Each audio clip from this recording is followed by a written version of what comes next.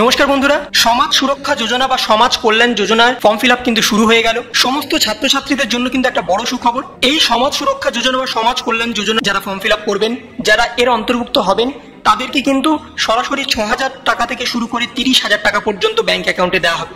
এবং তার পাশাপাশি অতিরিক্ত কত টাকা দেওয়া হবে, কারা কারা এই সুবিধার অন্তর্ভুক্ত হবেন কীভাবে ফর্ম ফিল আপ করবেন, কোথায় ফর্ম ফিল আপ করবেন, এবং সেই ফর্মটা আসলে কি, সেই সমস্ত কিছু নিয়ে কিন্তু আজকের এই ভিডিওটা তাই ভিডিওটা একটু স্কিপ না করে শেষ পর্যন্ত দেখুন, না হলে কিন্তু আপনি ছ হাজার টাকা থেকে তিরিশ হাজার টাকার কোনো টাকাই কিন্তু আপনার ব্যাংক অ্যাকাউন্টে পাবেন নয় কারা কত টাকা পাবে, আগে আমি আপনাদের সামনে তুলে ধরি। একাদশ শ্রেণীতে যারা পড়ছে, তাদেরকে দেওয়া হবে চার হাজার টাকা। যারা দ্বাদশ শ্রেণীতে পড়ছে, তাদেরকে দেওয়া হবে পাঁচ হাজার টাকা। যারা আইটিআই প্রশিক্ষণরত বাৎসরিক, তাদেরকে দেওয়া হবে ছ হাজার টাকা। যারা স্নাতকোত্তর, কলা বিভাগ, বিজ্ঞান বিভাগ, বাণিজ্য বিভাগ, তাদেরকে দেওয়া হবে ছ হাজার টাকা। যারা স্নাতকোত্তর, কলা, বিজ্ঞান এবং বাণিজ্য বিভাগে আছেন, তাদেরকে দেওয়া হবে দশ হাজার টাকা করে প্রতি বছর। যারা পলিটেকনিক করছেন, তাদেরকে দেওয়া হবে দশ হাজার টাকা। যারা ডাক্তার বা ইঞ্জিনিয়ারিং করছে, তাদেরকে দেওয়া হবে তিরিশ হাজার টাকা। তার পাশাপাশি দুটি কন্যা সন্তানের স্নাতকোত্তর পর্যন্ত পড়াশোনা শেষ করার জন্য প্রত্যেককে পঁচিশ হাজার টাকা আর্থিক সহায়তা প্রদান করা হবে। ওপরের যেগুলো আপনাদের সামনে তুলে ধরলাম, একাদশ, দ্বাদশ আইটিআই স্নাতক, স্নাতকোত্তর পলিটেকনিক ডাক্তার ইঞ্জিনিয়ার এটা কিন্তু সবার জন্য। ছেলে, মেয়ে, উভয়ের জন্য।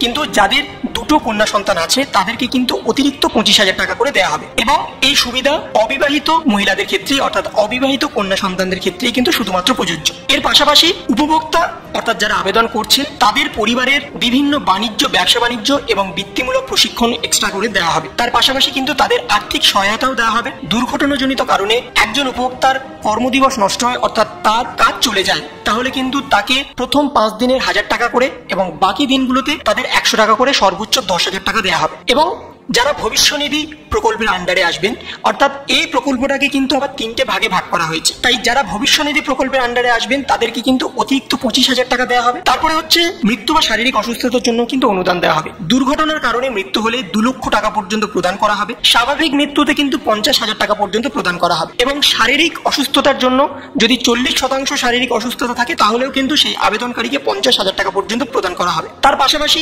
দুর্ঘটনাজনিত কারণে যদি দৃষ্টিশক্তি হারিয়ে ফেলেন, তাকে কিন্তু এক লক্ষ টাকা দেওয়া হবে এবং যদি দুর্ঘটনাজনিত কারণে তিনি চলতে না পারেন, তাকে কিন্তু অতিরিক্ত দু লক্ষ টাকা দেওয়া হবে। তাহলে এটা হলো সমাজ সুরক্ষা যোজনা। কারা কত টাকা পাবে আপনাদের সামনে তুলে ধরলাম। এবার আপনাদের সামনে দেখাই ফর্মটা আসলে কি, কোথায় জমা করবেন, কীভাবে ফর্ম ফিল আপ করবেন। দেখুন, এইটা হচ্ছে সমাজ সুরক্ষা যোজনার ফর্ম। এই ফর্মটা আপনাকে ফিল করতে হবে। এবং এই ফর্মটা শুধুমাত্র তারাই ফিল করতে পারবে, যারা শ্রমিক, নির্মাণ ক্ষেত্রের শ্রমিক বা পরিবহন ক্ষেত্রের শ্রমিক। তাদের জন্য কিন্তু সমাজ সুরক্ষা যোজনা। এবং তাদের ছেলে মেয়েদের জন্য কিন্তু যে টাকাগুলো আপনাদের বললাম, চার হাজার টাকা, পাঁচ হাজার টাকা, ছ হাজার টাকা, পঁচিশ হাজার টাকা, তিরিশ হাজার টাকা, শুধুমাত্র তাদের জন্য কিন্তু বরাদ্দ করা হয়েছে। এবং এই ফর্মটা কিন্তু বর্তমানে ফিল হচ্ছে। এই ফর্মটাই যদি আপনি ফিল করতে চান, আপনি যদি এই ক্যাটাগরির মধ্যে পড়েন, তাহলে এই মুহূর্তে আপনি কিন্তু ফিল করতে পারেন। এই ফর্ম ফিল জন্য কি কি ডকুমেন্টস লাগবে? ডকুমেন্টস বলতে আপনার লাগবে আধার কার্ড আপনার ভোটার কার্ড ব্যাংকের পাসবইয়ের ফটোকপি আবেদনকারী তিন কপি কালার ফটো এবং তার ইনকাম সার্টিফিকেট তার মাসে যদি সাড়ে ছ হাজার টাকার উপরে আয় হয়, তিনি কিন্তু এখানে আবেদন করতে পারবেন না। যাদের মাসে সাড়ে ছ হাজার টাকার নিচে, তারাই কিন্তু এই যোজনার জন্য আবেদন করতে পারবেন যদি আপনি আবেদন করতে চান এবং যদি আপনার আয় সাড়ে ছ হাজার টাকা মাসে হয়, তাহলে তার জন্য কিন্তু আপনাকে আপনার পঞ্চায়েত থেকে গিয়ে একটা ইনকাম সার্টিফিকেট তুলে আনতে হবে যে আপনি মাসে সাড়ে ছ হাজার টাকা উপার্জন করে তাহলে এই ছিল সামাজিক সুরক্ষা যোজনা। তাই আপনাদের মধ্যে যারা যারা ফর্ম ফিল আপ করতে চাইছেন, এই মুহূর্তে কিন্তু ফর্ম ফিল আপ করে নিন। এবং তার পাশাপাশি যদি আপনাদের ভিডিওটা ভালো লেগে থাকে, তবে ভিডিওতে একটা লাইক করুন শেয়ার করুন এবং অবশ্যই সাবস্ক্রাইব করুন। তার সাথে আপনার মতামত কমেন্টের মাধ্যমে জানান। ভালো থাকুন, সুস্থ থাকুন। ধন্যবাদ।